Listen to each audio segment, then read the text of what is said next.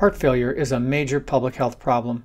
According to the Centers for Disease Control, 5.7 million adults in the U.S. have heart failure. One in nine deaths in the U.S. include heart failure as a contributing factor. Half of people who have heart failure die within five years of diagnosis. Heart failure is also an expensive disease. It costs the U.S. taxpayers about $31 billion annually. The long known risk factors for heart failure have included smoking, high blood pressure, and diabetes.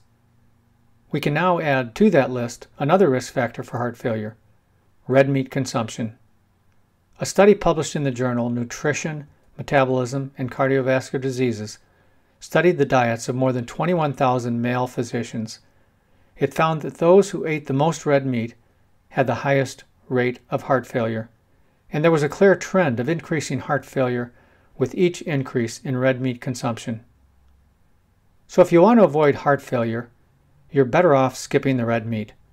There are plenty of other food options that are better for your health and the health of our planet. This is Dr. Mike Martin, founder and president of Physicians Against Red Meat, wishing you a long, healthy, and happy life. Thanks for listening.